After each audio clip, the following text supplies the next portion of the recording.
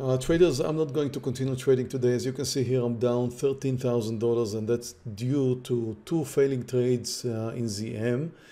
Um, Airbnb is currently slightly in green. So maybe something's going to happen there. But if I take a look at ZM, if you want to really discuss what happened there, you know, the risk in ZM was the fact uh, that ZM was up around 4% at the point uh, when we went short. The technical formation for short was beautiful in ZM. There was really nothing wrong. I'm talking about the first trade. Um, Yogi moved in first, I moved in after Yogi. But anyway, the technical formation for short in ZM really looked nice. It looked like ZM is going to continue coming down. I did mention that uh, the risk was the fact that uh, ZM was up 4% for the day and therefore you never know when a stock, like that is going to stop, reverse and move higher, which happened uh, twice. Well, the second time it came down was, it, it looked even better and it really touched a new low. So you can argue that ZM is indeed trending lower. So I went for the second time and the second time didn't work out. And the fact is really just ZM's going sideways. Well, that definitely can happen. And although there was a technical, nice technical formation for a short, uh, the fact that ZM was up like 4% and the market slowly continued moving higher, that took me out for the second time. So to start with, I would say it had a nice technical formation for a short. It failed mainly because uh, the market was moving higher and ZM responded to the market and ZM is relatively uh, strong today. So several reasons why a trade like this could fail and although it looked like it's going to continue the downtrend, it failed for the second time and that's it. What I'm really kind of angry at myself for is uh, my trade in Airbnb.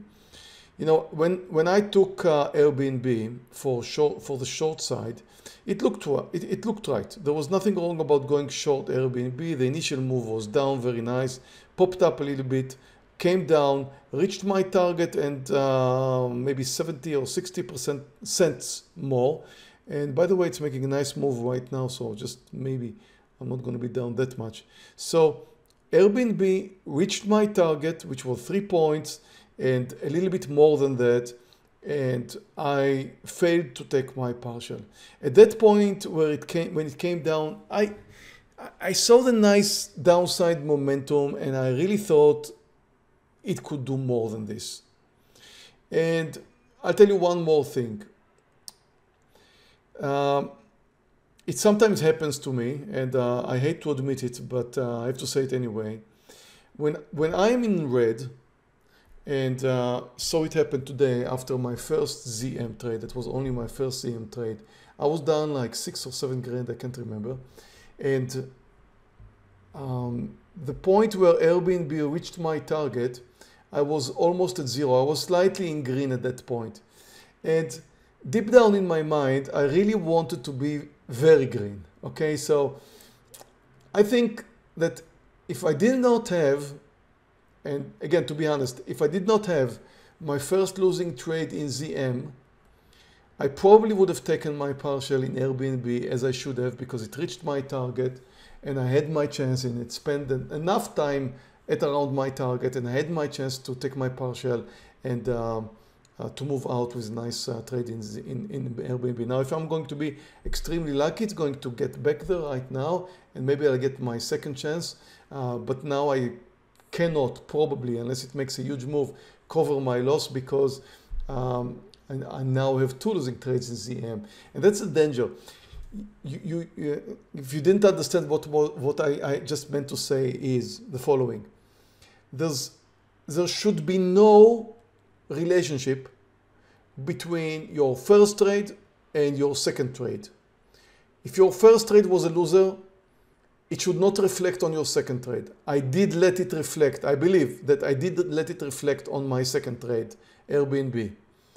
When I was down in ZM, I was trying to get a very profitable trade in Airbnb, not just cover my loss, which I could have at that point, but I was trying to get to the point where the second trade in Airbnb is making a big move and putting me safe in green territory and finishing nicely green for the day. I, I, I hate to admit it, but that thought went through my mind, which is a very big mistake. Your second trade has nothing to do with your first trade. If you had a losing day, the next day normally has nothing to do with your first losing day. Well, if I do have two or three losing days, I would lower my size because I know that I'm not very, uh, you know, eligible for a, a great uh, trading session after having several losing days. You have a losing trade, forget about your losing trade when you take your second trade.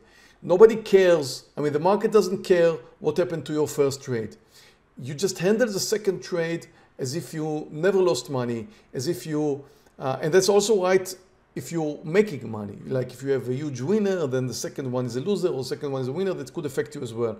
So mentally speaking, your first trade should be erased from your mind and you should approach your second trade as if nothing happened. Well, I did not do it today. I'm human. It happens to me. Uh, does it happen to you? does it ever happen to you? I mean, am I the only one uh, who's having these issues? Uh, let me know. Uh, are there more people here in the room that uh, feel the same like I do? Uh, does it happen to you that you, you mistreat your second trade force because your first trade went wrong? Too many times, Alexander? For sure, Linda? Abid says no. Joe says yes. Well, I guess I'm not the only one who's making uh, this kind of mistakes, but uh, let me just say uh, this is something that happens, uh, happened to me more, happened to me more in the past, but uh, as, as time goes by, it happens to me less and less. Um, today it happened to me definitely happened to me. I hesitated at the point where it reached my target. I should have clicked that button over there and I did not click the button over there. So uh, I guess this is going to be a red day, although right now I'm up um, in Airbnb and just may reduce my uh, $13,000 loss, but uh, that's a little early to say now. Uh, anyway, um, I'm going to start with Red Day and um, I hope you guys did better than I did. If you're on YouTube, we will really appreciate if you give us a thumb up.